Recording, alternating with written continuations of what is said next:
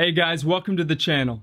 Picture this, a young me, sitting by his computer, stoked to make a cinematic looking video.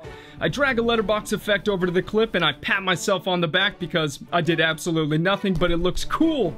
I add a transition between my clips, but when I play it back, the letterbox effect messes up and transitions with it.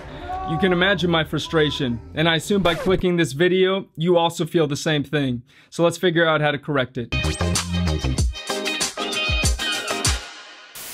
The simple, simple solution is to use an adjustment layer over top of your footage. Uh, an adjustment layer basically allows you to make changes to any and all clips below the layer. So by using the letterbox effect on the layer, you keep it throughout without any screw ups caused by transitions. You can also use an adjustment layer for things like color grading. I use this layer in every project. I've attached a link in the description below to a free downloadable adjustment layer for Final Cut Pro. I hope this helped guys. If it did, press the like button make sure to subscribe. Check out my other videos. I think uh, you'll enjoy them. Have an amazing day.